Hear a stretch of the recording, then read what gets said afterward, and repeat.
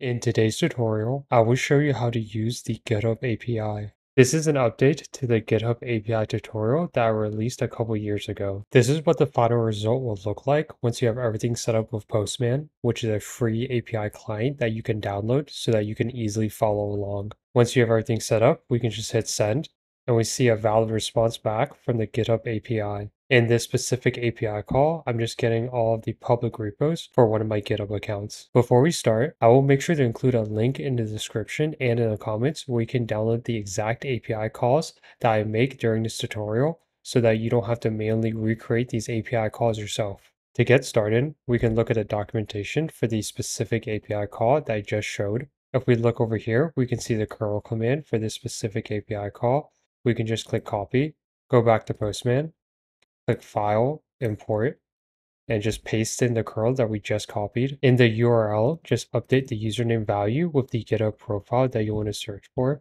So I'll just do my GitHub account, then click headers and uncheck this box that says authorization, then click send. And you should now see a response back from the GitHub API that will list all of the public GitHub repos for the GitHub user that you searched for. For the next API call, I will show you how to display both public and private repos for a specific GitHub user. Going back to the documentation, here is all the info for listing both public and private repos for a GitHub user. However, before we can make this specific API call, we will need to generate a GitHub API key, which we can easily do if we just go to this specific link and then click on personal access token, then click on fine grained tokens. Click here where it says generate new token. Name the token whatever you would like. I'll just do tutorial example. And for expiration, just set to how long you want the token to last. I'll just do seven days for right now. Click all repositories, then scroll down. Select repository permissions, and for the administration section, just click read only. Scroll all the way to the bottom of the page, and then click generate token. Make sure you copy this token as you will not be able to access it again.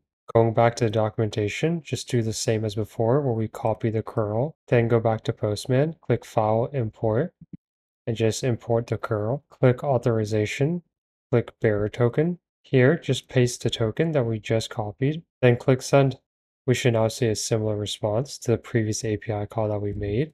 But if I search up my private repo, this is a repo that I made that I made private and we can now see it inside this API response. In the previous API call that we made, this repo did not show up because we were only showing public repos, but this API call will show both public and private repos. The next API call I will show will list all of the commits from a repo that you own. Going to the documentation, we can just do the exact same thing as before where we just copy the curl and import it to Postman and this is what it will look like. The two changes you need to make is to update the owner value with the name of your GitHub profile and then update the repo value with the name of your GitHub repo that you're trying to list the commits for. In this case, my repo name is GitHub REST API React Tutorial. One last change we need to make is to go to authorization and just make sure we select bearer token and paste in the value that we copied from earlier. Once you have this all set up, just hit send and we should now see a list of commits for the GitHub repo that we specified. For the last API call, I will show you how to get a list of all the branches for a specific GitHub repo. Going back to documentation, we can just do the exact same steps as before, where we copy the curl and just import it to Postman, update the owner value and the repo value just like we did before. Also make sure you're using the correct bearer token